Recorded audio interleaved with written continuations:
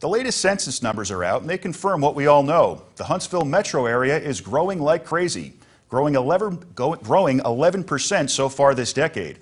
Madison County added almost 5,000 new residents last year. Limestone County and Marshall County showed growth last year as well. Northern Alabama counties that lost population include Lauderdale, Jackson, and Lawrence.